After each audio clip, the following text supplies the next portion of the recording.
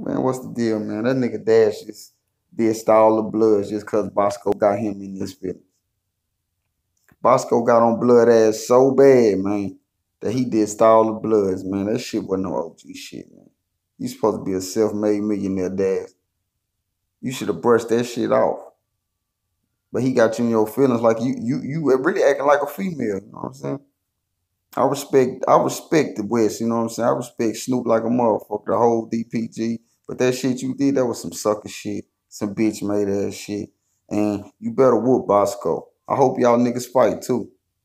All that disrespecting the shit on the internet, that ain't what real niggas do. Y'all niggas better scratch. Anything other than that, y'all just some industry ass gangsters. Niggas that's really out there, they really going to jail catching bodies and shit about this shit. Y'all niggas just rapping. Y'all put the crip shit on on the music, man, but y'all ain't did shit in the streets. Facts, man.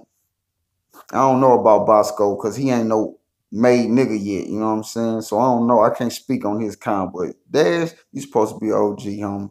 That shit was fake. That shit was gay, nigga. Smoke, nigga.